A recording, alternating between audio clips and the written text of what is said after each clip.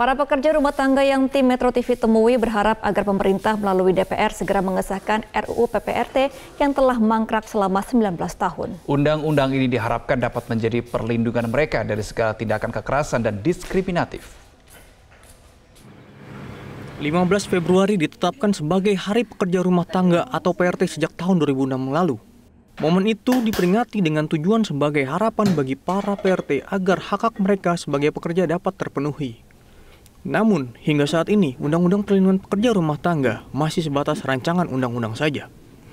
Sejatinya, RUU ini sangat penting bagi payung hukum untuk melindungi pekerja rumah tangga dari pelanggaran hukum yang dilakukan oleh pemberi kerja.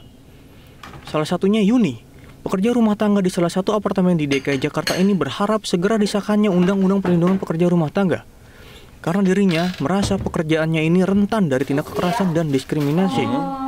Uh, kita ini pekerja domestik ya yang ada di negara Indonesia dan memang seharusnya negara ini melindungi pekerja domestik karena negara Indonesia memang belum mempunyai undang-undang uh, tertulis yang jelas untuk para PRT gitu.